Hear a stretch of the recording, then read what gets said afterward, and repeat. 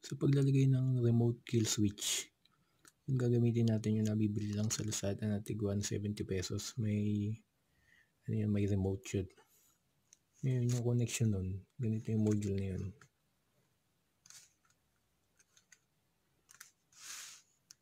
Meron siyang tatlong connection. Dito. Isang NC, isang NO, at isang COM. Yung NC, ibig sabihin nun, normally close. Yung NO, normally open. Ito yung common. Tapos dito, dito yung positive yung supply. Ito yung negative. Ito, ilalagay lang natin sa battery, syempre. Syempre, with fuse. Tapos itong negative niya, syempre, sa negative ng battery. Ngayon, yung gagamitin natin usually doon, itong NC normally close sa itong common. Ilalagay natin to doon sa sa stand switch. Kung yung motor nyo eh pag sinight stand mamamatay.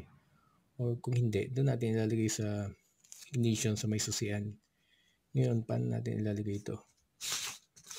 Usually, yung switch natin yung side stand may dalawang wire yan so, eh, ito halimbawa yung sa side stand na sensor o switch gagawin natin puputulin natin to yung isang wire. Ito. Puputulin natin yan. Tapos itong common na to kukonect natin doon tapos itong isa dito. Yan ang magiging connection niya. Ito putol to ah. Ganun yung mangyayari. Yung kung walang side stand switch, ganun din. Yung gagamitin nyo sa susian, hanapin nyo yung power, kakatin din, cut din, tapos ganun din ang connection. Sa com, saka dun sa NC. Yung NC normally close. Okay. Dahil under warranty pa yung motor ko at ayokong ikat yung wire. May, may isang contributor, isa tatay riders. Tago na lang natin sa pangalang Nash. Siya ang gumawa. Yung motor niya sa Mio i125. Doon niya ginawa.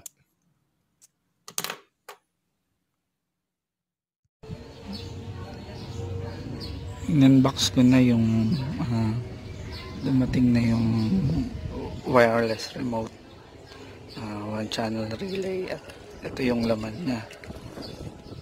So bala ko uh, gamitin dito sa sa Mio. Po. Bala ko dito siya ikabit sa side side stand testingin natin kung kung paano siya gagana. Yan mga tol. Uh, sa pagpipairing naman itong ano natin yan relay and remote uh, madali lang siya. Pindutin lang natin to ng tatlong beses.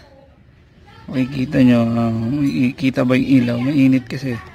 1 2 3 so pindutin lang natin yung A and then yung B. Nag registered na siya. Ganun lang kasimple. Hmm, sample natin. Actually yan yan siya. So para save yan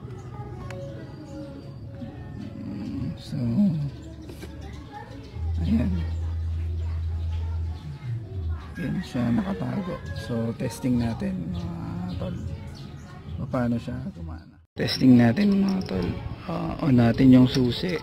So, usually, uh, nag-start na siya pag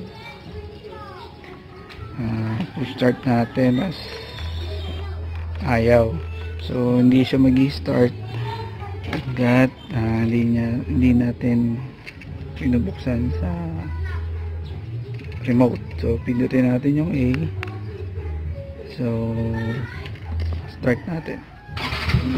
Ayan, mga tol. Ano. Start na siya.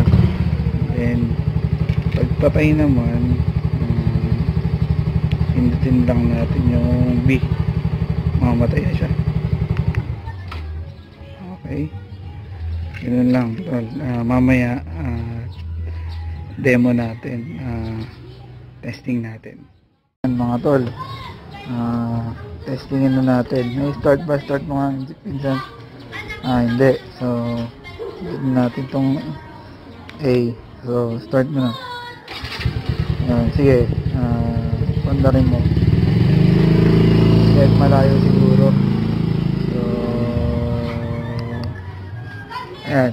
Namatay? Namatay? Ah, dating galit yung A. Ayan. Balikan na. Ayun.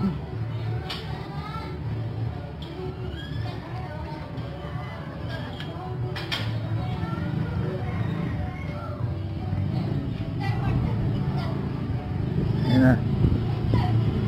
So, lay layo ka. Yan. Duro hanggang doon sa may kilaman si Elso. Ayan. Amatay. Okay. Start mo ulit. Oh. Balik ka na. Buka natin malayo. Namatay. Ayun, namatay. So, start na ulit natin. Balik ka na. Okay, gumana.